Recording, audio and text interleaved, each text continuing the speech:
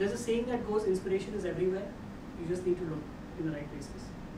And I think by all of you being here today, that's what you're showing. That it's not about the quantity of people that are here, it's about the quality of. I see organizations such as Cognizant, I see OLX, I see Seco, I see ex Accenture, I see IBM, and of course a lot of very successful entrepreneurs that are here in the room as well. So your network doesn't necessarily have to be only from the industry that you're of. Your most exciting opportunities, your most exciting partnerships will probably come from people that you never thought of, you, of interacting with. And why we invited Tarun here today is because, like Divya said, he's truly somebody that all of us should aspire to look up to or should aspire to become like because he's lived a very exciting life by choice. Um, born in Bombay, grew up in Pune, did his engineering from our very own PICT. He lived in Barbados in Jamaica in the UK. Then he moved to the US to start working with GE. He worked with GE for a couple of years and then he said, you know what, life isn't exciting enough, I want to start my own startup. And he started his own startup in the 90s, ECQ, and at that point of time managed to raise $54 million in VC funding, which I think by any standards is not a small amount. The other exciting part was because of the dot-com bust, the startup unfortunately had to be shut down. But Tarun resurrected himself, reinvented himself, and became chief officer, chief customer officer for Asia Pacific, as well as CEO for BMC Software India. He led the company to hit in the top 10 of great places to work in India as well. And he's also written two best-selling books. He's also a philanthropist. He's recently become an angel investor as well.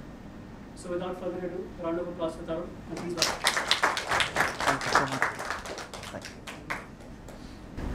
It's my pleasure. So thank you, Divya. Thank you, Siddharth, for uh, having me here. Um, I think I'm going to be talking, the topic that uh, I'm going to talk about are five things that keep up CEOs at night. And uh, what is it that they most worry about? So when you typically look at a CEO, uh, obviously they are talking about business because you need to be able to make sure that you got enough funding and finance to be able to run the operation. But there are many other things, and, and I'm going to pick the top five. Some of it is going to sound cliche because they are the obvious ones. But some of these are things that most CEOs do not talk about, but are extremely important. And I think that they need to talk about them and be wary of them a little bit more. And as your entrepreneurs, you get a chance to set the culture up front because it is very diff- difficult to change cultures later on. As the companies become bigger, it is very difficult to drive cultural transformation. And so, since many of you are entrepreneurs or work for big companies, it's very important to be aware of them. So, number one on that list, of course, is financial prudence. It's business basics, and that means thinking about profitability, thinking about revenues, and thinking about how is the money being spent.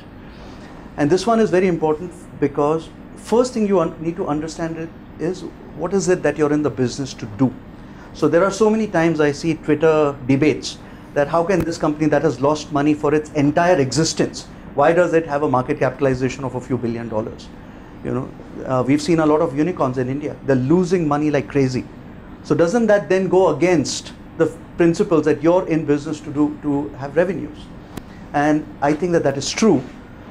But the goal determines what your financial goals are.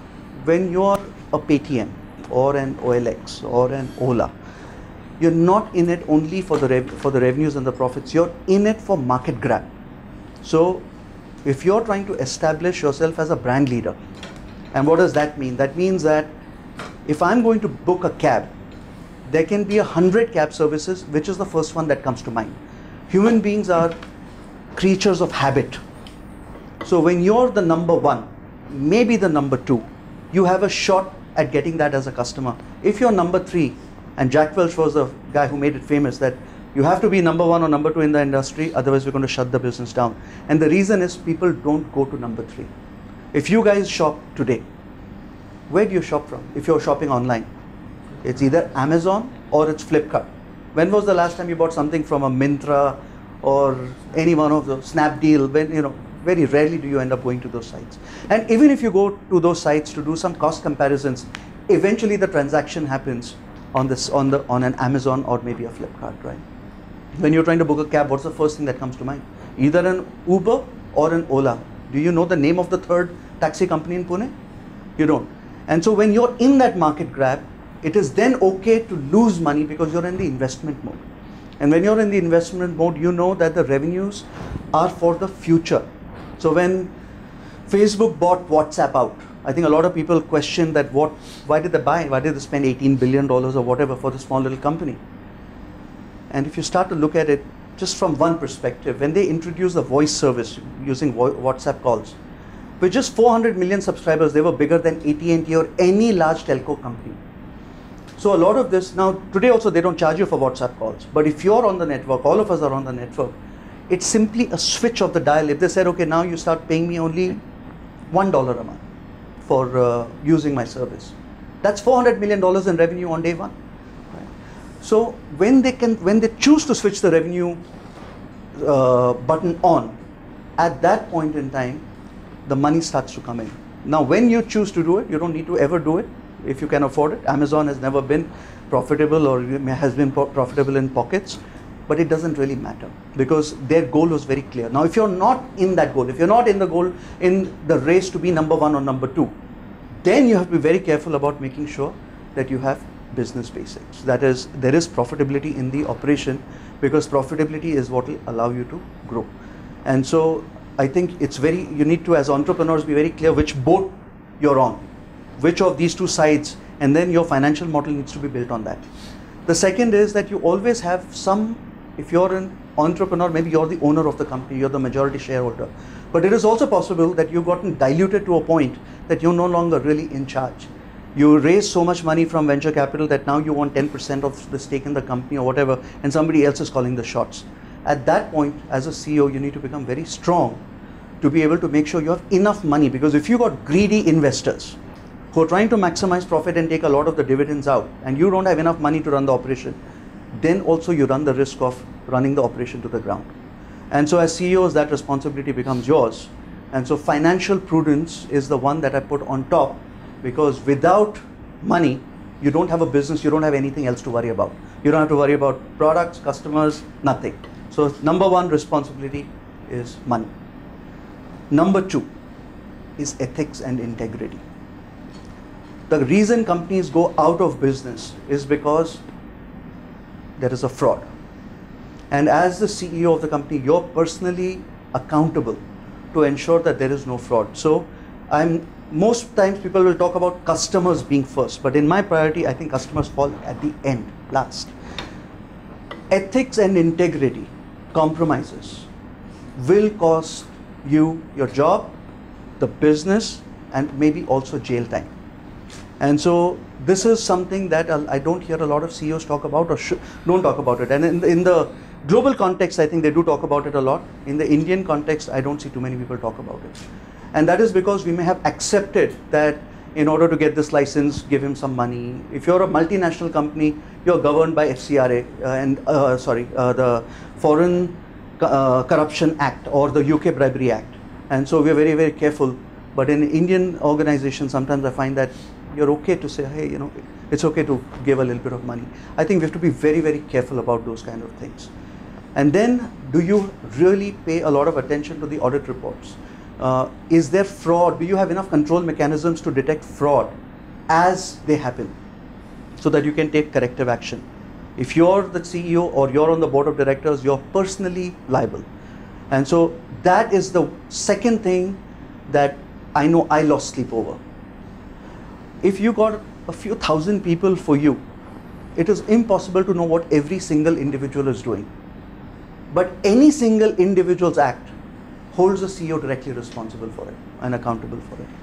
So you have to spend enough money in putting controls in place and more importantly, talk about things like the whistleblower policy and recognize the whistleblowers and take corrective action even though most companies will have a whistleblower policy and they will have anonymous reporting of issues, very often if you don't act on it, people lose faith uh, in that policy or in uh, your in the management team to be able to react to it. So I think you know I would put ethics and integrity compromises on the second list.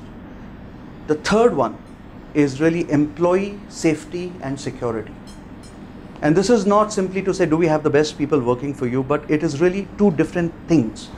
One is the safety of the employees physically. Uh, and this includes, if you're in a manufacturing company, making sure there are no accidents that uh, uh, hamper people's lives.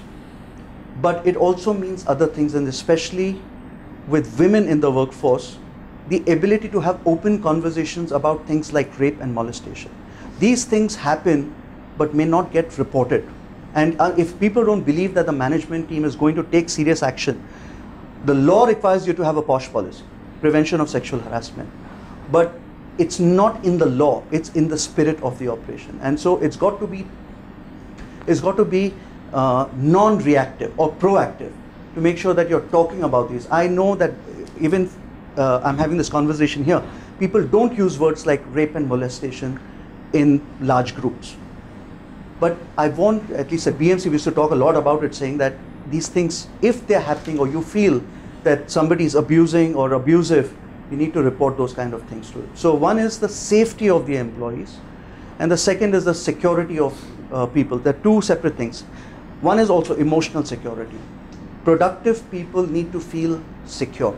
And I think it is directly tied to the culture. I'll tell you a couple of stories about how culture is influenced by the vocabulary in use and the behaviors of the leaders.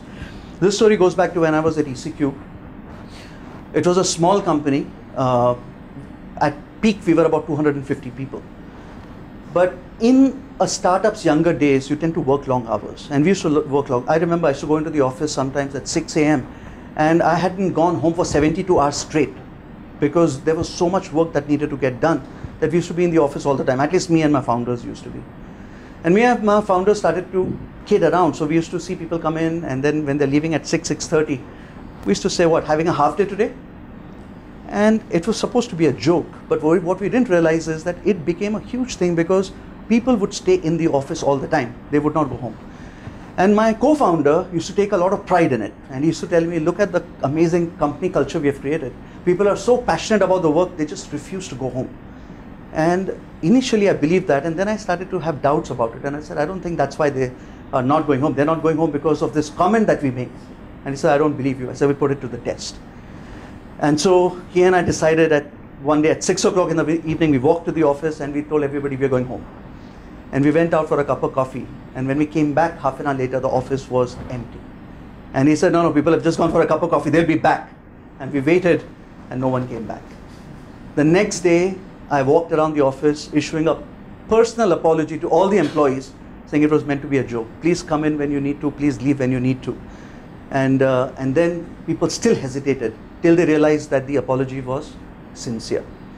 And so you have to be very careful as leaders about things that you say because it can take the culture for a toss. Similarly, when uh, I took on BMC software, I realized the vocabulary that we use creates a culture. So a simple example, when I took on, a lot of the good engineers wanted to all be managers. And we would ask them, why do you want to be managers? So, now, well, manage, uh, in management, we have a better career choice. And then I realized that that wasn't the case. The thing is that when we did performance appraisals, we used to look at things called span of control. Span of control is how many people report into you. Uh, and because of that term span of control, people started to attach themselves to control, saying that the bigger the span of control, the more important I must be. And as an individual contributor, you don't have a span of control. And so they felt that we were rewarding the managers, and the more people that reported into them, the more uh, important your uh, role was, and hence there was career progression. We started to change all that vocabulary, and we moved away from span of control to span of influence. As an individual, you can have a lot of influence on people, but you don't need to have control on them. Anyway, organizations run not by command and control. In the army, you need that command and control, but in the knowledge industry that many of us are part of, it is really about active debate and conversations and maybe arrival to a decision by consensus, though consensus is not always required.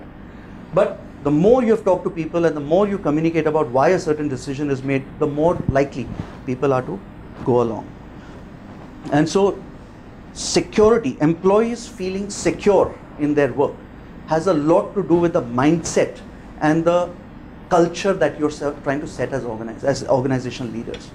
So I thought that was a very important lesson that I learned. Uh, it's not just physical security, it's emotional security and stability. And I'll also tell you that uh, a company doing well does not has nothing to do with how the employees feel. So as an example, I remember as at ECQ, we were not able to meet payroll one month. We were raising funds, the funds had not come in, and we had run out of money. And so a lot of people were saying that let's just not talk to the employees uh, about the fact that we have no money. They'll freak out and they'll leave. But it wasn't the case because we called a meeting with all our employees and we told them that we've run out of money. The money will come in shortly, but we don't have any money anymore. And the employees turned around and said, you know what, we will bring our personal laptops and computers from home and we'll continue working. If you don't have laptops or you got to return the laptops, we'll bring in our own computers and we'll continue to work. So effective communication, not trying to sugarcoat everything, because a lot of people don't give enough uh, importance to the ability of employees to understand and be empathetic towards what the company is facing. Most people are always willing to help.